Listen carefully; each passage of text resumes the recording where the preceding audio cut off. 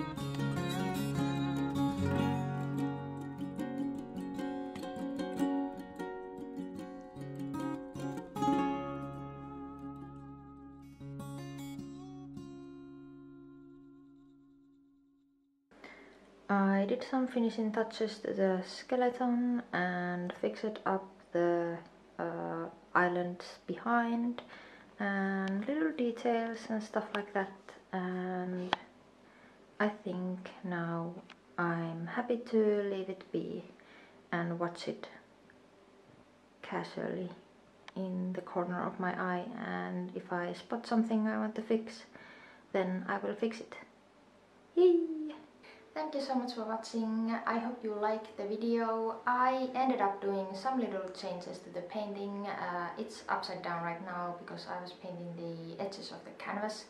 But if you want to see the end result, go check my Instagram. I will post the painting there.